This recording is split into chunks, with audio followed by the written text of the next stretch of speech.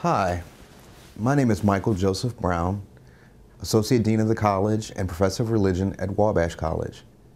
And I'm here to answer the question, can your First Communion dress be any color?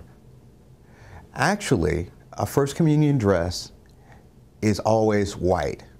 This is because white symbolizes, is the color that symbolizes light and purity, and it's also the color that's connected to Jesus and Jesus' resurrection.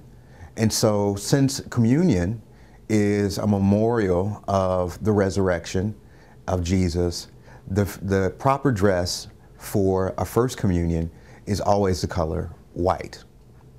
Again, I'm Michael Joseph Brown, Associate Dean of the College and Professor of Religion at Wabash College, answering the question, can your First Communion dress be any color?